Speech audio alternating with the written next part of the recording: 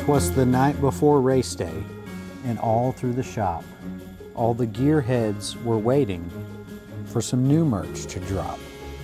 They needed new shirts to replace all the old, and some new hats and beanies to shield heads from the cold. Whether a new sweater for you or a new tee for your kids, these new designs will flip all your lids. So don't hesitate or wait too long. These designs are available for a limited time at gopowersports.com. From our race team in Texas to you in your place, Merry Christmas to all and to all a fast race.